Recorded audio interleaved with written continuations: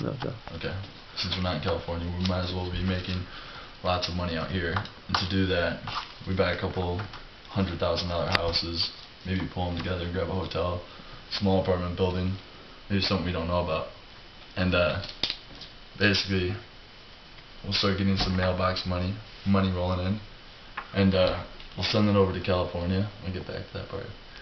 We'll send it over to California, and then do the same thing there, but we'll have cash to back it up and just start acquiring properties like left and right, oceanfront, doesn't matter where. Maybe Compton, I don't know.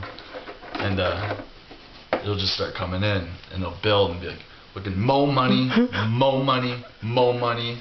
Maybe get a Lambo, Ferrari, Testarossa, and just keep going. Get a bigger mailbox.